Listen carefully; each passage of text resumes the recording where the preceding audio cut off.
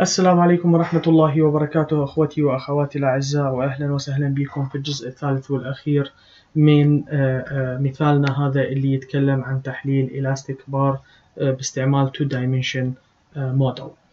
شفنا أنه بالجزء الأول من هذا المثال إحنا وصفنا المشكلة مالتنا ومثلناها وبالجزء الثاني سوينا المش مالتها وحللناها وطلعت النتائج وشفنا شلون نقدر نرسمها. بالجزء الأخير راح نحاول إنه نحسن من أداء النتائج اللي طلعت لنا نتذكر إنه ال exact solution أظهر إنه ال stresses بالنهاية المقيدة يجب أن تكون قيمتها 300 في حين إنه الموديل اللي أنا سويته أنطاني 290 فقط.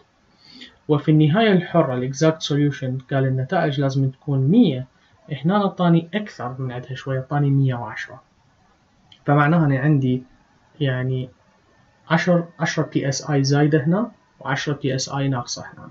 طيب شلون ممكن إنه أحسن آه، من نتائج الموديل مالتي؟ ممكن ببساطة إنه أفكر بإنه أزيد عدد ال elements مالتي. ومن أزيد عدد ال elements معناها التشوه اللي راح يصير بال بالبار مالتي يقترب من التشوه الحقيقي للبار الحقيقي ومعناها إنه ممكن أحصل نتائج أدق.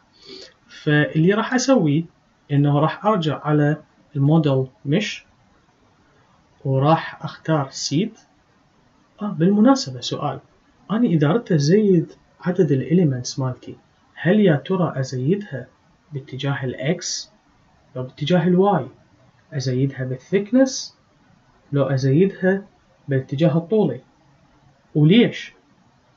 ليش يهم منهم هو صحيح؟ لو لازم أزيدها باثنيناتهم هذا سؤال لازم أني أفكر به لما أجي أريد أغير ال mesh مالتي وأختبر حساسيتها. فلذلك أنا راح أبدي بفد شيء بعدين أقول لكم ليش بديت به راح أبدي بأنه أزيد عدد ال elements بال thickness فراح أروح على seed وأختار edges وأختار النهاية اليسرى وأضغط shift وأختار النهاية اليمنى. Done. وأغير عددها number of elements من اثنين إلى أربعة وأقول له okay delete mesh yes وأرجع على ال mesh instance وأسوي لي seeding وغيرنا هسه ضاعفنا عدد ال elements بال thickness أرجع من جديد على الجوب وأرجع أسوي لها submission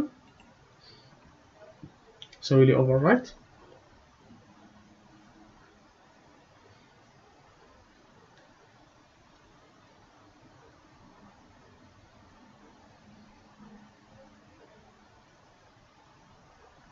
وبنهاية العملية أريد أشوف الريزلتس مالتي وأنا أريد أشوف الإجهادات. آه لاحظ أنه الإجهادات بقى مثل ما هي. ما تغيرت. 110 بالنهاية الحرة و290 بالنهاية المقيدة وكأنه الشغل اللي سويته بزيادة عدد ال elements بال thickness ما فادني نهائيا. ليش ما فادني نهائيا؟ لسببين السبب الأول أنه القوة المسلطة عندي هي بالاتجاه المحوري. وبالتالي ال deflection اللي دا يصير عندي هو بالاتجاه المحوري مو بالاتجاه باتجاه ال thickness مال البار مالتي. وعليه أي تغيير بالإجهادات لازم يكون هنا بهذا الاتجاه وليس بالاتجاه الطولي أضف إلى ذلك أنه إحنا من الأساس عرفنا ال Poisson's ratio قيمتها صفر.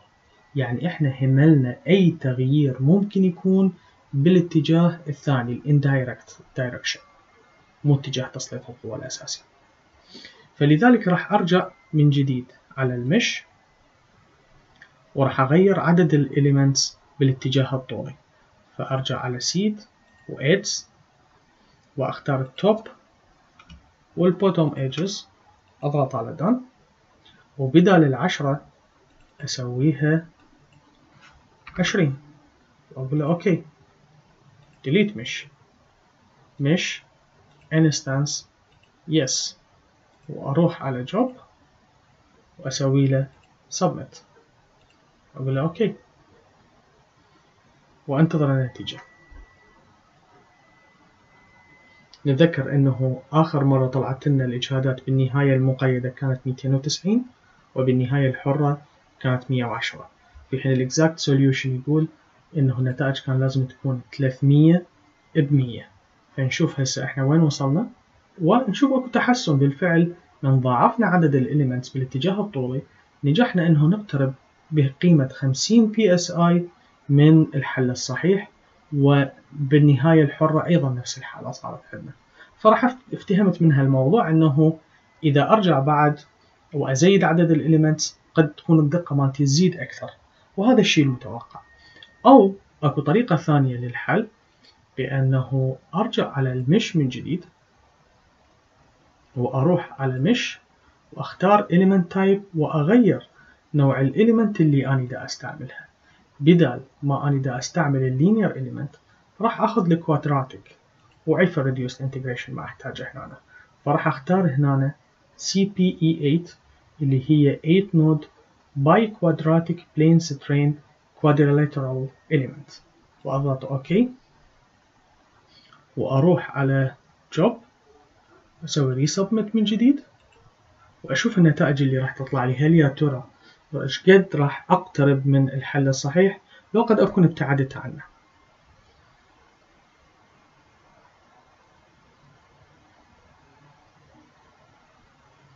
خلصت عملية التحليل.